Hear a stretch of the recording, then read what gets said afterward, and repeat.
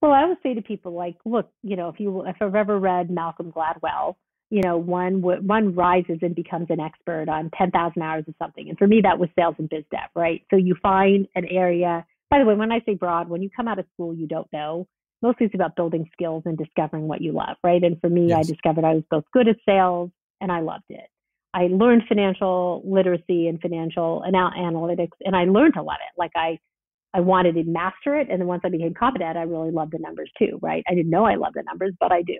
So I learned those two things about myself, and I ended up in a, in a career in mostly sales, then business development. Business development being quite a nice hybrid between, you know, needing to be able to assess opportunities financially, but also pursue them like sales. Um, so that's great. Okay, so you master something, and you you can ride quite high on a functional dimension.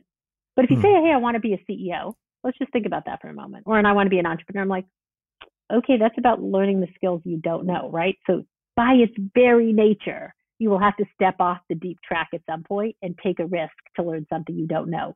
Like literally.